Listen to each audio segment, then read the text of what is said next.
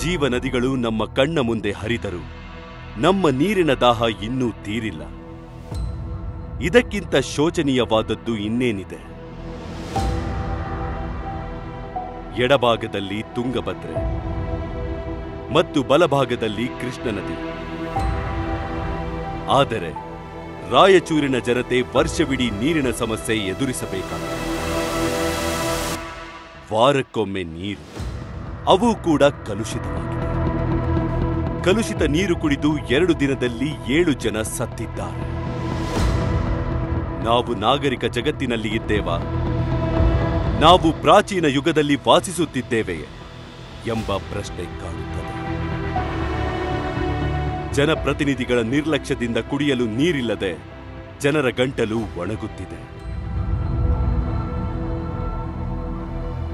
ಭ್ರಷ್ಟಾಚಾರದಲ್ಲಿ ಮುಳುಗಿರುವ ಕರ್ನಾಟಕದ ಬಿಜೆಪಿ ಸರ್ಕಾರ ಶೇಕಡ ನಲವತ್ತು ಪರ್ಸೆಂಟ್ ಕಮಿಷನ್ ಆಸೆಯಿಂದ ಜನರ ಹಿತವನ್ನೇ ಮರೆತಿದೆ.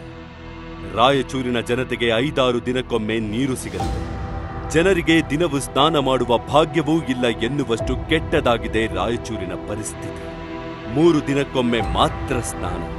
ಬೇಸಿಗೆಯಲ್ಲಿ ರಾಯಚೂರಿನ ಜನರ ಕಷ್ಟ ಹೇಳತೀರದು ರಾಯಚೂರು ಜಿಲ್ಲೆಯಲ್ಲಿ ಕುಡಿಯುವ ನೀರಿಗಾಗಿ ಜನರು ಪರದಾಡಿ ದಿಕ್ಕು ತೋಚದಂತಾಗಿದ್ದು ನೀರಾವರಿ ವಲಯದ ಹೊಲಗಳು ನೀರಿಲ್ಲದೆ ಬರಡಾಗಿವೆ. ಕೇವಲ ಇಪ್ಪತ್ತೆಂಟರಷ್ಟು ಜಮೀನುಗಳಿಗೆ ನೀರಾವರಿ ನೀರು ಪೂರೈಕೆಯಾಗುತ್ತಿದೆ. ಉಳಿದ ಶೇಕಡ ಎಪ್ಪತ್ತೆರಡರಷ್ಟು ಭೂಮಿಯ ರೈತರು ಮಳೆಯ ನೀರಿನ ಮೇಲೆ ಅವಲಂಬಿತ ಮಾನ್ವಿಯಲ್ಲಿ ಎರಡು ದಶಕಗಳ ಹಿಂದೆ ಮಳೆ ಬಂದರೆ ಮಾತ್ರ ಕೃಷಿ ಮಾಡಲಾಗುತ್ತಿತ್ತು ಸಾವಿರದ ಒಂಬೈನೂರ ತೊಂಬತ್ತರ ದಶಕದಲ್ಲಿ ಎನ್ಎಸ್ ಬೋಸರಾಜು ಅವರು ತುಂಗಭದ್ರ ಕಾಡ ಅಧ್ಯಕ್ಷರಾಗಿ ಬಂದಾಗ ಅನೇಕ ಸಮಸ್ಯೆಗಳು ಅಂತ್ಯಗೊಂಡವು. ಈಗ ಆ ಬದಲಾವಣೆಯ ಸನ್ನಿವೇಶಗಳು ಬದಲಾಗಿವೆ. ಬಿಜೆಪಿ ಆಡಳಿತದಲ್ಲಿ ರೈತರಿಗೆ ಮತ್ತೆ ಸಂಕಷ್ಟ ಶುರುವಾಗಿದೆ. ರಾಷ್ಟ್ರೀಯ ರೈತ ಅಪರಾಧ ದಾಖಲೆಗಳು ಬ್ಯೂರೋ ವರದಿ ಪ್ರಕಾರ ಎರಡು ಸಾವಿರದ ಇಪ್ಪತ್ತೊಂದು ಇಪ್ಪತ್ತೆರಡರಲ್ಲಿ ಹತ್ತು ಸಾವಿರದ ಎಂಟುನೂರ ಎಂಬತ್ತೊಂದು ರೈತರು ಆತ್ಮಹತ್ಯೆ ಮಾಡಿಕೊಂಡಿದ್ದಾರೆ. ದೇಶದಲ್ಲೇ ಅತಿ ಹೆಚ್ಚು ರೈತರ ಆತ್ಮಹತ್ಯೆ ಪ್ರಕರಣಗಳಲ್ಲಿ ಕರ್ನಾಟಕ ಎರಡನೇ ಸ್ಥಾನದಲ್ಲಿದೆ. ರಾಯಚೂರು ಜಿಲ್ಲೆಯ ಸುತ್ತಲಿನ ಕೆಲ ಹಳ್ಳಿಗಳಲ್ಲಿ ಜನರು ಕಿಲೋಮೀಟರ್ ಗಟ್ಟಲೆ ನಡೆದು ಕುಡಿಯುವ ನೀರು ತರುತ್ತಿದ್ದಾರೆ. ಬೇರೆಡೆಗೆ ಹೋಗಿ ಅಷ್ಟೊಂದು ಶ್ರಮ ಇಲ್ಲದ ಕುಟುಂಬಗಳು ಬೋರ್ವೆಲ್ನ ಫ್ಲೋರೈಡ್ ಯುಕ್ತ ನೀರನ್ನು ಕುಡಿದು ಜೀವ ಭಯದಲ್ಲಿ ಕೈ ಕಾಲು ಸೇರಿ ಹಲವಾರು ನೋವುಗಳೊಂದಿಗೆ ಜೀವನ ಮಾಡುತ್ತಿದ್ದಾರೆ.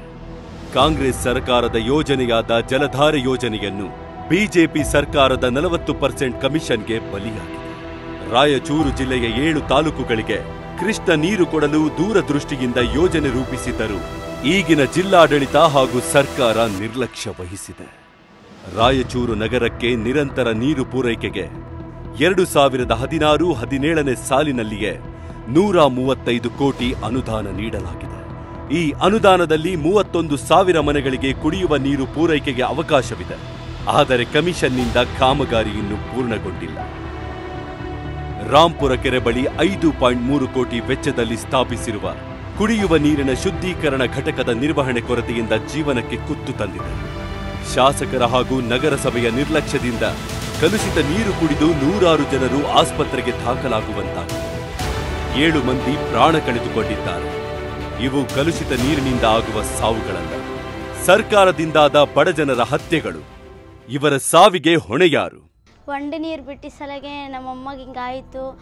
ಮತ್ತೆ ಅಂದರೆ ಮಿಡಿರಲ್ಲಿ ಪೈಪ್ ಹೊಡೆದಿತ್ತಂತ ನಮಗೆ ಗೊತ್ತಿರಲಿಲ್ಲ. ಹಂಗಾಗಿ ಮನೆಯಲ್ಲಿ ಎಲ್ಲರೂ ಅದೇ ನೀರು ಕುಡಿದ್ವಿ. ಹಾಸ್ಪಿಟಲಲ್ಲಿ ಅಡ್ಮಿಟ್ ಆಗಿ ಸಲಗೆ ನಮ್ಮಮ್ಮ ನಮ್ಮಮ್ಮ ನಮ್ಮಮ್ಮ ಡೆತ್ ಆದರು. ಹಂಗಾಗಿ ಮನೆಯಲ್ಲಿ ತುಂಬ ಪ್ರಾಬ್ಲಮ್ ಮತ್ತು ನಾವೇ ಅಡುಗೆ ಮಾಡ್ಕೋಬೇಕು ಮಾರ್ನಿಂಗ್ ನಾವೇ ಸ್ಕೂಲಿಗೆ ಹೋಗ್ಬೇಕು. ಹಾಗಾಗಿ ನಮಗೆ ತುಂಬ ತೊಂದರೆ ಆಗಿದೆ. ಸರ್ಕಾರದಿಂದ ಕೊಟ್ಟಿದ್ದಾರೆ. ಆದರೆ ದುಡ್ಡು ಕೊಟ್ಟಿದ್ದದಕ್ಕೆ ನಮ್ಮಮ್ಮ ಏನು ವಾಪಸ್ ಬರಲಿಲ್ಲ ನಮ್ಗೆ. ದುಡ್ಡು ತೊಗೊಂಡು ಏನು ಮಾಡಮ್? ಇವತ್ತು ಇರ್ತಾವೆ, ನಾಳೆ ಹೋಗ್ತಾವೆ ನಮಗೆ ಬೇಕಾಗಿಲ್ಲ ನಮ್ಮಮ್ಮ ಇರಬೇಕಿತ್ತು ಅದು ಒಂದು ಬೇರೆನೇ ಇರ್ತಿತ್ತು ಮನೆಯಲ್ಲಿ. ಹಂಗಾಗಿ ನಮಗೆ ತುಂಬ ತೊಂದರೆ ಆಗಿದೆ ಮನೆಯಲ್ಲಿ. ಎಂದು ಕಾಂಗ್ರೆಸ್ ರಾಜ್ಯ ಯುವ ಮುಖಂಡರಾದ ರವಿ ಬೋಸರಾಜು ಅವರು ಮೃತರ ಕುಟುಂಬಕ್ಕೆ ಪರಿಹಾರ ನೀಡುವಂತೆ ಆಗ್ರಹಿಸಿ ಪ್ರತಿಭಟನೆ ನಡೆಸಿ ಸರ್ಕಾರದಲ್ಲಿ ಸಂಚಲನ ಮೂಡಿಸಿದರು. ರಾಂಪುರ ಜಲಾಶಯದಿಂದ ರಾಯಚೂರು ನಗರದ ಮೂವತ್ತೈದು ವಾರ್ಡ್ಗಳಿಗೆ ಕಲುಷಿತ ನೀರು ಪೂರೈಕೆಯಾಗುತ್ತಿದೆ. ಹದಿನೈದು ವರ್ಷಗಳಿಂದ ಟ್ಯಾಂಕರ್ ಸ್ವಚ್ಛಗೊಳಿಸಿಲ್ಲ ಎಂದರೆ ಈ ಆಡಳಿತಗಾರರಿಗೆ ಜನಜೀವನದ ಬಗ್ಗೆ ಎಷ್ಟು ಕಾಳಜಿ ಇದೆ ಎಂದು ಅರ್ಥವಾಗುತ್ತದೆ. ಜಿಲ್ಲೆಯ ಎಂಟುನೂರ ಎಂಬತ್ಮೂರು ಗ್ರಾಮಗಳ ಪೈಕಿ ಅರ್ಧಕ್ಕೂ ಹೆಚ್ಚು ಗ್ರಾಮಗಳ ಜನರು ವಿಷಯುಕ್ತ ನೀರು ಕುಡಿಯುತ್ತಿದ್ದಾರೆ. ನಾನ್ನೂರ ಐವತ್ತೇಳು ಗ್ರಾಮಗಳ ಕುಡಿಯುವ ನೀರಿನಲ್ಲಿ ಫ್ಲೋರೈಡ್ ಮತ್ತು ಅರ್ಸೆನಿಕ್ ಇರುವುದು ಪತ್ತೆಯಾಗಿದೆ.